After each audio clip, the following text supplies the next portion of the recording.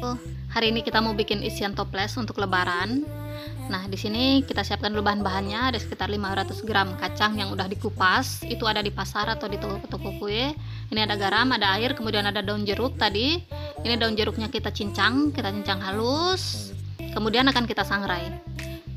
E, di api kecil ya, biar enggak gosong tapi wanginya keluar. Ini kita sangrai sebentar aja sampai dia berwarna kecoklatan kemudian kita, akan kita angkat uh, kita sisihkan dulu.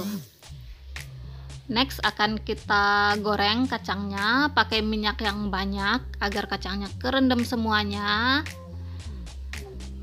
Ini saya nggak pakai uh, bawang putih dan sebagainya ya karena kita akan membuat kacang karamel yang manis bukan kacang asinnya. Ini kita goreng diaduk-aduk-aduk jangan sampai gosong sampai kacangnya berwarna kecoklatan juga. Karena kalau e, terlalu lama kacang e, mudah hangus ya. Ini kita angkat. Kita angkat semuanya kemudian kita tiriskan. Buat kacang karamel ini enggak e, enggak susah gampang banget. Bahan-bahannya juga simple aja. Nah ini hasilnya kayak begini. Ini nggak gosong rasanya manis.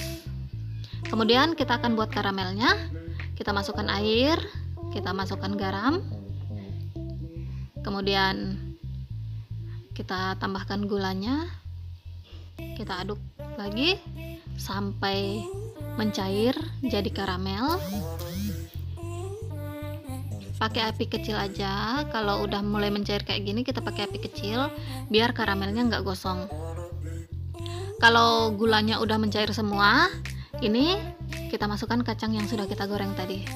Kemudian kita aduk-aduk. Hati-hati karamelnya panas pakai e, sendok kayu sih seharusnya karena kalau pakai spatula kayak begini itu rawan e, meleleh.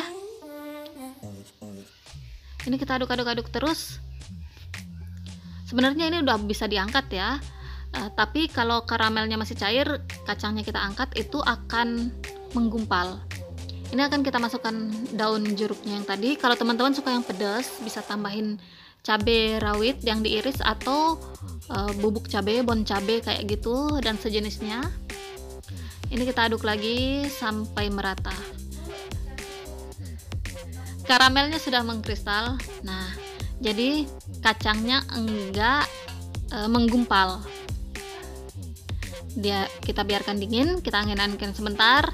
Ini kriuk manis kalau teman-teman suka pedas seperti yang saya bilang tadi bisa ditambahin cabai kita dinginkan kemudian bisa kita masukkan di toples.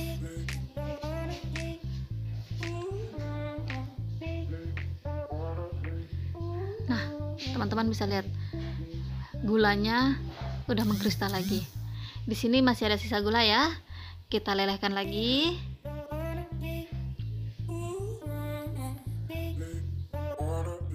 kita akan mencoba membuat kacang karamel yang yang kita angkat saat eh, karamelnya masih cair belum mulai mengkristal. Ini kita buat sedikit aja. Kalau yang takut gagal.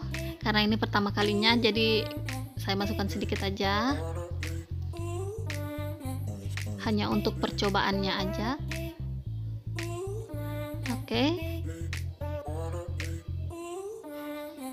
Nah kalau udah kayak gini ini akan kita angkat. Kita angkat dan kita sisihkan juga. Kita dinginkan.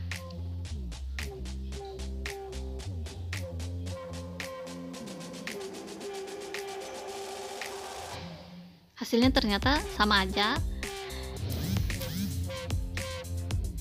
Tapi yang uh, kacang yang kita angkat saat karamelnya masih cair itu lebih uh, dia menggumpal hasilnya menggumpal jadi saat dipisahkan itu membutuhkan sedikit waktu. Nah ini yang kita angkat setelah karamelnya mengkristal. Langsung terpisah sendiri. Selamat mencoba ya